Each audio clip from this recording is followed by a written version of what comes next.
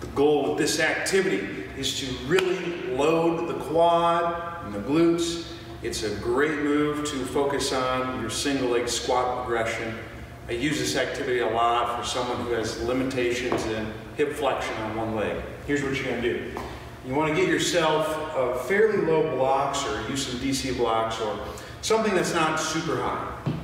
You're gonna put your foot on the edge of the book or the block or whatever you're using. The leg that's going to be hovering in the air can either be slightly in front to increase the challenge or slightly behind to decrease the challenge.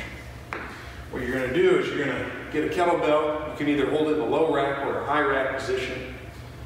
And from here, you're going to tuck your hips, exhale, and then you simply want to break at the knee, making sure you keep heel contact on this side, on the side that's on the box, and you want to tap the opposite heel on the ground, not transferring weight over, and then coming up. It's going to look like this.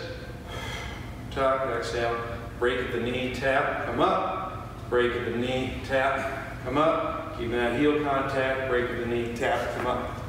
From the front, same thing. Just make sure that you keep the tuck and your knee doesn't cave too far in or too far out. You want to keep it centered and push your knee over your big toe. It's going to look like this. Tap, tap, tap. That's how it's done. Give it a shot.